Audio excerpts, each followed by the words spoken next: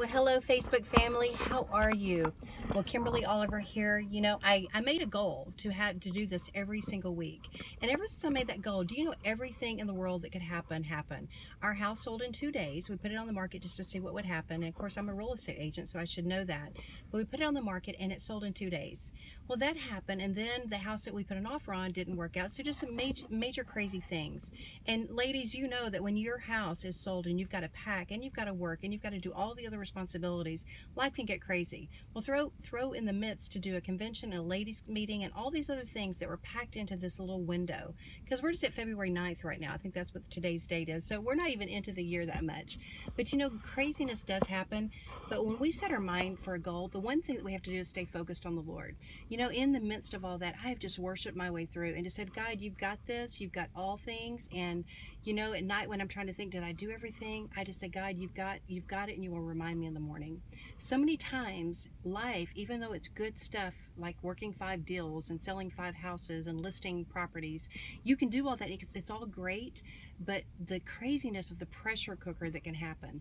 I'm reminding in 1 Corinthians 2 9, it says, Eye has not seen, ear has not heard, not nor entered into the heart of man what God has prepared for us. He's got such a bigger plan for us, and what we have to do is stay focused. Don't let all the all the curveballs in life get you down. Stay focused on what He's got for you. Stay in worship. Find a good church. Find a way to just stay focused on Him because He is faithful. The Bible says in Jeremiah 29 11 says, I know, for I know the plans that I have for you, plans to prosper you and not harm you, but plans to give you a good life.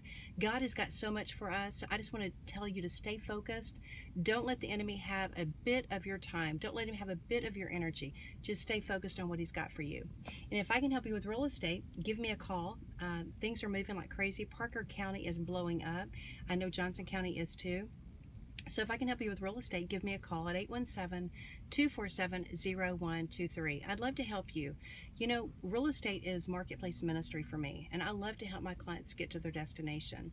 So again, my number is 817-247-0123, or you can go to my website, The Kimberly Team.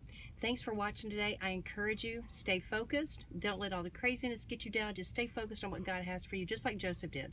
Joseph was abandoned. He was, he was rejected by his brother. He was accused of crazy things, but he kept his eyes on God, and God promoted him. So stay focused today. Just say, God, you are faithful. That's my favorite saying. God, you are faithful. And He is. I bless you today. Make it a great day.